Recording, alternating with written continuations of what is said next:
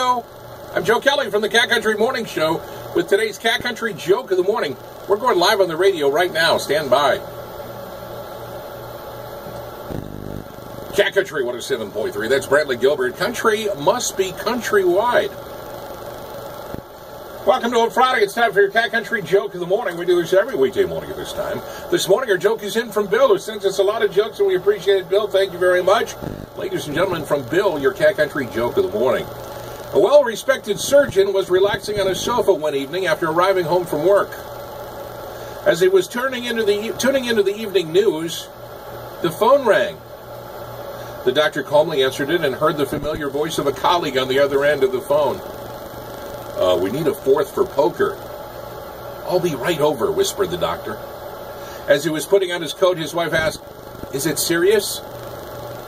Oh, yes, quite serious, the doctor said gravely. There, there are already three doctors already there.